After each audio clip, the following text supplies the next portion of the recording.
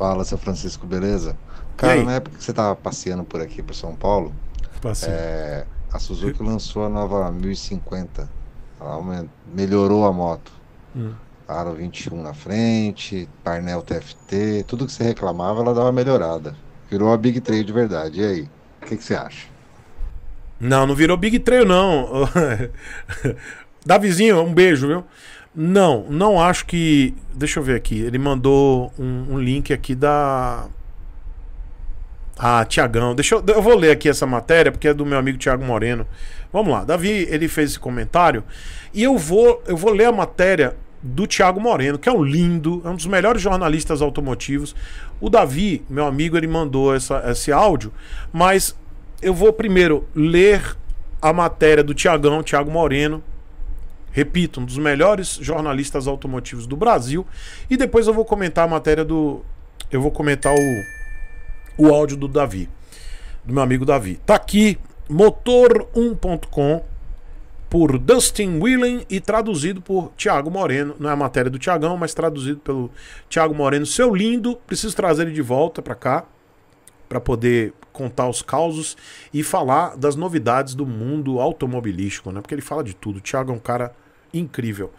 A Suzuki acabou de apresentar a nova V-Strom 1050 2023. A atual geração da moto foi revelada ainda em 2020 e a moto está passando por algumas atualizações no catálogo.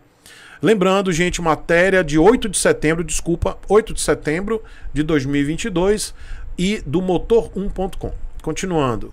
É, uma das alterações está na nomenclatura das configurações e a grande, da grande e a grande aventureira da empresa ainda recebeu novas versões com a chegada da V-Strom 1050 DE. Por enquanto, a previsão é que a nova Suzuki V-Strom 1050 2023 deva chegar ao mercado europeu a partir de janeiro do ano que vem, 2023. A boa notícia é que a moto já está confirmada para chegar no Brasil. A J. Toledo, representante oficial da marca por aqui, já afirmou que a aventureira renovada terá a comercialização iniciada em nosso país a partir de julho de 2023. E tá aqui a galeria de fotos.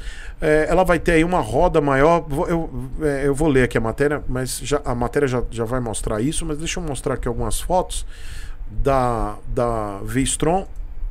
E depois eu vou comentar o que, que o Davi falou dela ser Big Trail, tá? É... Vamos lá, tá aqui. Deixa eu continuar a matéria. Para melhorar seu desempenho, a Suzuki fez mudanças importantes na estrutura da moto, especificamente nas versões DE e a DE Adventure.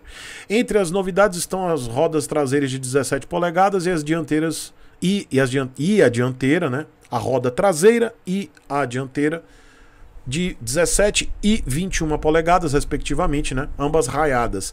Pneus de uso misto Dunlop Trail Max Mixture ajudam o aventureiro a se adaptar a vários terrenos. A Suzuki ainda revisou a suspensão, opa, que ganhou maior curso e distância em relação ao solo. Pô, agora sim. A empresa também anunciou uma nova balança traseira, acrescentando comprimento extra. Opa! E maior rigidez de torção. No total, as atualizações do chassi aumentaram tanto o ângulo de caster na dianteira quanto a distância entre eixos com o intuito de melhorar a estabilidade da V-Strom. Opa! Entre as, os demais equipamentos que chegam à nova versão DE, a aventureira da Suzuki recebe barra de acessórios no motor, protetor de cárter para lamas dianteira de três peças, inspirada. A moto ainda ganha um subchassi traseiro mais reforçado e um guidão mais largo. Os para-brisas é, ainda foi. O para-brisa ainda foi revisado e o painel de instrumentos recebeu uma nova tela TFT, muito bom, colorida de 5 polegadas, com direito até entrada USB. Caramba! Para aqueles que planejam viagens longas, a V-Strom provavelmente deve ter algum tipo de Android Auto, tomara, né? Ou algum tipo de sistema é, próprio da Suzuki. Tomara que tenha Android Auto. Putz. A V-Strom 1050DE Adventure traz bagageiro de alumínio, 37 litros de capacidade, além de faróis de neblina com lâmpadas LED.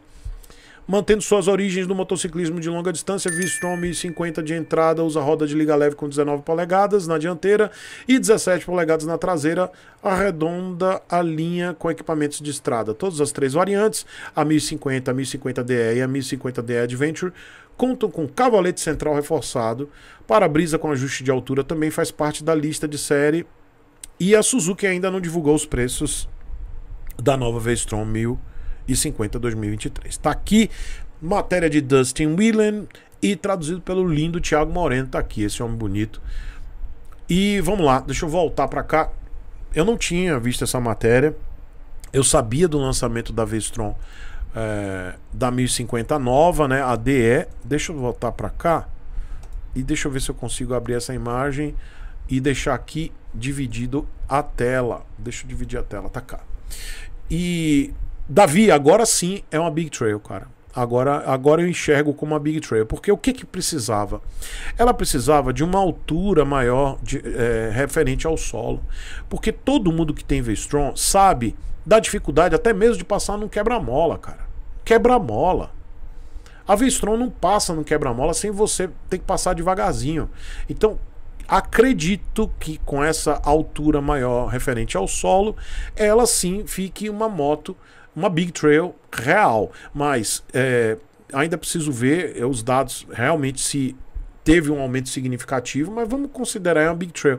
Porque ela precisa realmente ter uma altura é, referente ao solo maior para que ela seja considerada uma Big Trail. Até porque todos os itens aí que estão agora melhorados fazem com que ela seja uma real Big Trail.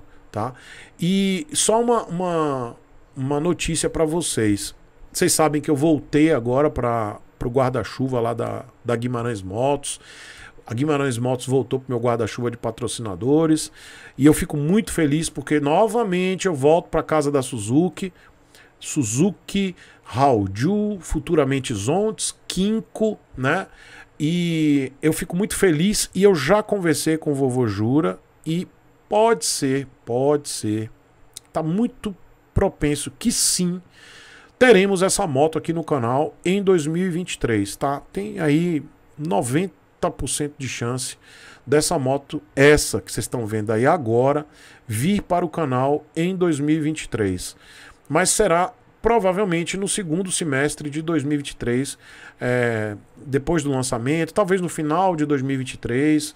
Eu não tenho pressa nenhuma, falei para o Jura, é, exatamente da gente é, fazer essa negociação da Vestron vir para cá para o canal, eu atualizar a Vestron 650 para 1050, mas eu não queria essa versão anterior porque eu sabia que tinha DE. E sim, eu prefiro a, a não que eu não queira a BMW, que eu não gosto da BMW, que eu não gosto da Triumph, não é isso. Mas eu gosto muito da do menos é mais da Suzuki. Eu depois que eu fiz o teste, eu tive muito preconceito com a, a Vestron 1050, porque eu achava que ela tinha muito pouco, muita pouca, muito pouca tecnologia embarcada pelo preço pedido. Ainda acho caro, mas é, é um, é um menos, menos que é mais que está adequado para o que a moto para o limite da moto. Então, assim, você não tem punho aquecido, que faz diferença quando você faz a viagem para o sul. Você não tem alguns itens de conforto que as as marcas premium têm, mas essa moto ela tem quem e eu repito, quem tem V-Strom vai entender o que eu estou falando. A marca, não somente o peso da marca V-Strom, mas a construção da V-Strom, ela tem a confiabilidade dessa construção. É uma moto que não dá dor de cabeça ela não dá manutenção. Se você fizer a manutenção preventiva, ela não dá dor de cabeça. Eu digo isso porque eu tenho uma há três anos. Vai completar três anos agora em outubro. Zero problema. Zero, gente. Não tem um problema. Zero. Não tem problema. Nunca me deu problema. A minha 650 nunca deu problema. Pode conversar com qualquer um que tem V-Strom, pode ter, ter tido algum problema, as mil antigas, pode ter tido aquele problema na embreagem, na campana da embreagem, mas é uma moto que não quebra. E a manutenção, ainda assim, é uma manutenção mais em conta, não estou dizendo que é barata, mais em conta do que as concorrentes. E é uma moto mais simples. Tudo bem que agora ela já tem um pouco mais de eletrônica embarcada, mas ainda assim continua uma moto simples. É, e eu conversei com o Jura, da Guimarães Motos, a gente acertou isso aí. E eu tô realmente 90% fechado que essa moto vem para o canal no final de 2023. Não será no início. É, vai ser provavelmente 2023, no final de 2023, quando essa, essa versão chegar aqui no Brasil. Tá? Eu realmente eu, eu vou continuar com o V-Strom. E é isso, tá? É, Davi, Eu concordo com você, cara. Eu vendo essa matéria agora, eu digo, é, realmente agora ela, ela vindo nessas configurações e realmente aumentando a, a distância do solo, ela vai ser uma big trail, cara. Vai, e ainda mais com essa roda Aro 21 na frente. Mas o meu intuito não é que. Eu queria. Eu, eu falei até com o Lúcio, lá, consultor de vendas da Guimarães, eu falei com ele, né? Para mim, é, não é o aro 23 na frente, 21 na frente, desculpa. Não é o aro 21 na frente, podia ser até 17 na frente, não importa. 19, 17. Eu quero uma moto para uso rodoviário. Mas se ela vier numa configuração é, dessa, mais alta, tudo mais, com um aro 18 na frente, mas que venha com painel TFT e tudo mais, eu vou em barco. Mas se só essa versão DE Adventure ou a DE que vier vir com a, a altura maior referente ao solo, aí eu vou para essa mesmo, tá? Porque ela, a V-Strom ela tem um ponto muito negativo que é essa altura muito baixa em relação ao solo. Isso incomoda. Incomoda muito. Principalmente quando você bota a garupa. Tá? E essa versão DE já toda completinha, com o baú. Tomara que ela venha com faróis de neblina, né? Já venha com faróis de neblina também. Enfim, vamos aguardar. E essa aqui é uma singela homenagem e agradecimento a todos os apoiadores e membros deste que é o pior canal do YouTube. Pessoal, muito obrigado. O nome de todo mundo está aparecendo aqui agora e vai aparecer no final de todos os vídeos desse canal aqui. E se você gosta do conteúdo, quiser se tornar um membro ou apoiador, mas principalmente um apoiador, vai lá no apoia.se barra Chico Sepúlveda. E se você quiser se tornar um membro, toca aqui nesse botão embaixo, seja membro. Muito obrigado.